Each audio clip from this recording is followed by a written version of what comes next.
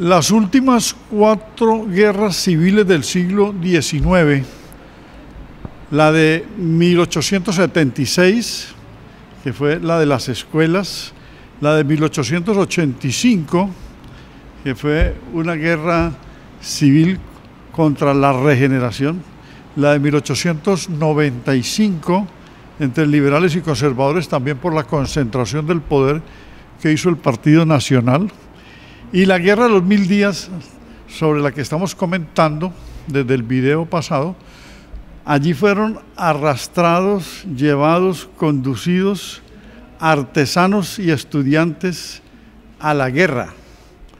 Igual, y es el mayor número de peones y campesinos, terrasgueros, de las fincas de los terratenientes conservadores aliados al ejército rebelde y de terratenientes liberales radicales molestos con la regeneración, sobre todo en este caso de la guerra civil de 1899 contra el gobierno de Miguel Antonio Caro, que sucedió en el poder a Rafael Núñez después de su muerte y que pretendió quedarse en el poder, pero la reelección estaba prohibida y buscó fórmulas alternas.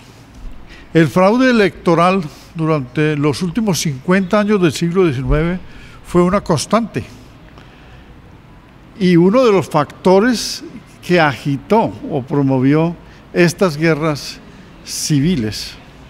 La guerra de los mil días que se inicia en 1899 y termina en 1902, la guerra de los, digamos, es una guerra muy confusa. Esta guerra se inicia en Santander del Sur, precisamente y de manera coincidencial, es el mismo sitio donde el ELN en el siglo XX va a iniciar sus acciones militares sitio escogido por Fabio Vázquez Castaño y narrado en la novela histórica de Lisandro Duque, Las reglas del juego, por una versión que le dio Fabio Vázquez Castaño en Cuba cuando él le cuenta que el Che Guevara en 1961 revisó, porque le solicitaron un concepto, la iniciación del sitio pensando Fabio Vázquez Castaño en la gesta de los comuneros, aunque Lisandro Duque revela otra razón para quienes lean la novela. La fórmula electoral de 1898 que Miguel Antonio Caro pretendió para quedarse en el poder, pues fue la de la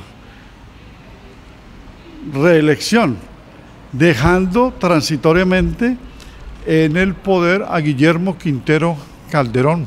Es decir, que él renunciaba y Guillermo Calderón asumía. Y de esta manera quedaba no inhabilitado. Pero Quintero Calderón se detectó era amigo de los históricos, es decir, de los conservadores históricos que estaban apartados de los conservadores eh, nacionales que Núñez había cooptado para fundar la regeneración y que Caro conservaba como aliados.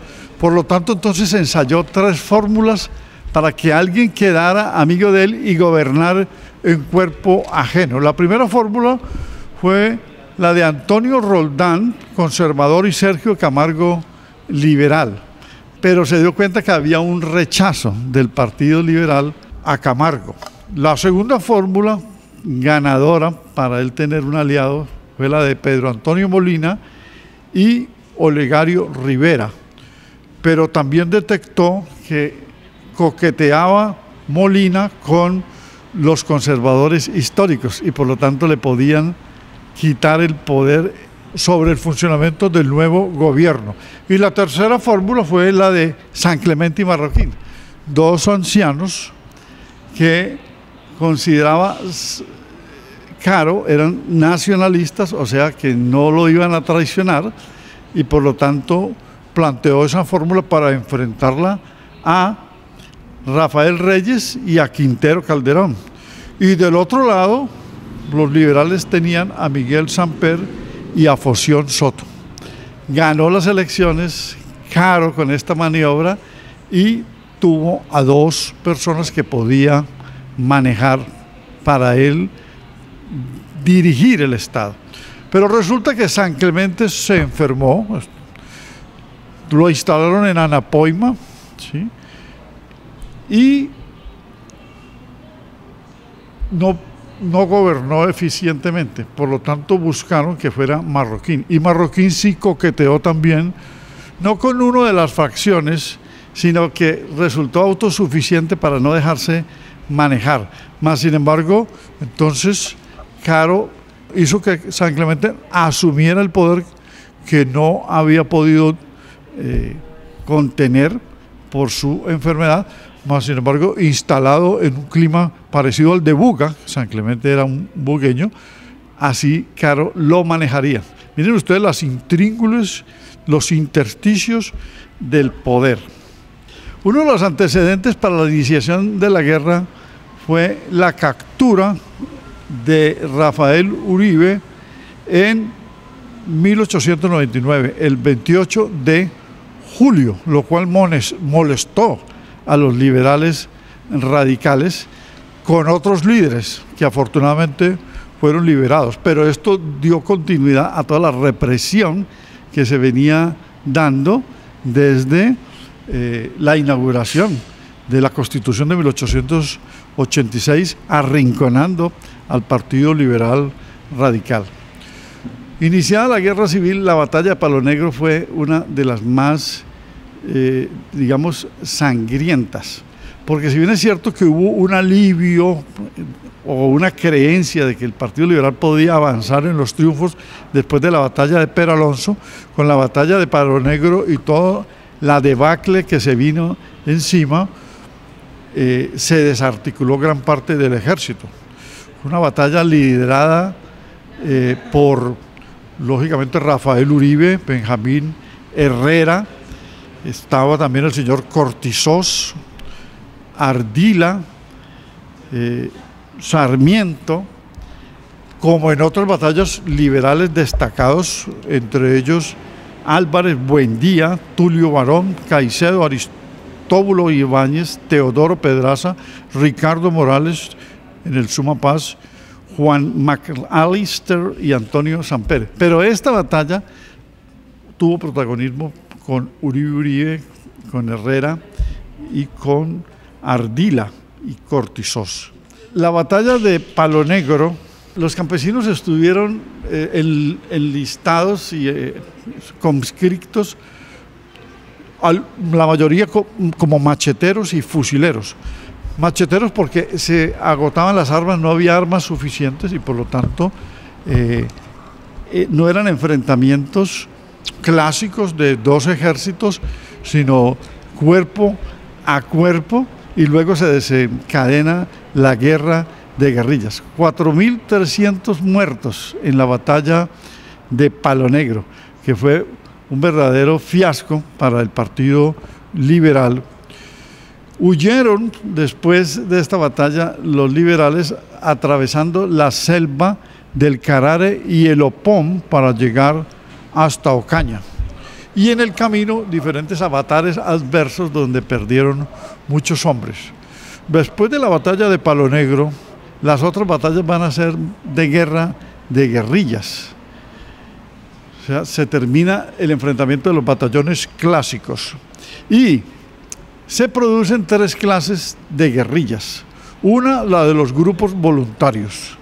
Otra, la de los grupos de terratenientes que organizan ejércitos de campesinos convirtiéndolos en militares. Y aún hay alguna dirección, la de los terratenientes. Y la otra, la de eh, mandoleros dedicados al pillaje, desbordados, medrando en algunos sitios y sin dirección política. Por lo tanto, se va caotizando la guerra. Por ejemplo, el combate de Ambato en el Tolima fue muy cruento, muy sangriento. Perdieron los liberales a sus hombres más importantes, a Marín y a Ibáñez. Esto fue en mayo de 1900. Luego se decreta la guerra a muerte por parte de Marroquín, el presidente que había asumido en el golpe que le dan a San Clemente. Y, y de parte de los liberales rebeldes, Aristóbulo Ibáñez da también la orden de guerra a muerte. Es decir, el gobierno declara unos consejos verbales para quienes estén actuando en la guerra, violando todo el derecho de gentes y autorizando a las autoridades departamentales para decidir sobre la pena de muerte, es decir, fusilamientos. Pero aparece algo mucho más cruel. El gobierno, con el ministro de Defensa, José Vicente Concha, autoriza el ascenso militar solo, no ya eh, departamentalmente, sino que se concentra en el Ministerio de Defensa y a quien muestre que sus ejércitos o sus grupos han mm, dado de baja a más de 100 hombres, tienen derecho al ascenso. Eso es como una especie de falso positivo de la época. Para finales de 1901, se dice en las encuestas de la época que 105 mil hombres habían tomado las armas, 70 mil por el gobierno y 35 mil por los liberales. Y hasta ese momento ¿sí? Se han registrado 218 combates, se han perdido 30 mil vidas de colombianos y falta todavía mucho para que termine la guerra que va a concluir en 1902. Los combates de más renombre después de Peralonso y de Palo Negro son los de Nacaroco, Sinaí y la Rusia. Hay un libro de Joaquín Tamayo que narra la batalla de la Rusia, que es un ataque sorpresivo nocturno que hace el ejército liberal contra las huestes del ejército eh, oficial del gobierno de Marroquín, donde mueren más de 2.000 personas macheteados en un acto, digamos, de desespero de los liberales por todas las pérdidas que habían tenido frente al ejército conservador.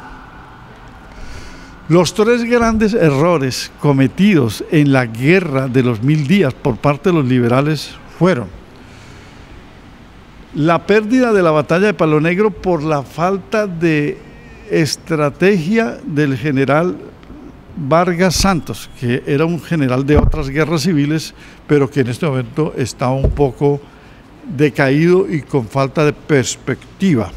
Segundo, el estacionamiento de tropas en Cúcuta, que se demoró muchos meses, hizo perder tiempo, casi cinco meses, para que se rearmara el gobierno oficial y luego bloqueara a los ejércitos que estaban allí acantonados, más de cinco mil hombres.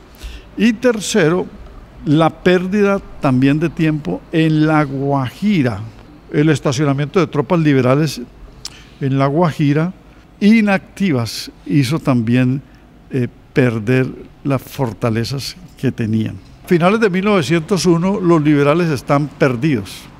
Sus principales jefes se dirigen hacia el extranjero.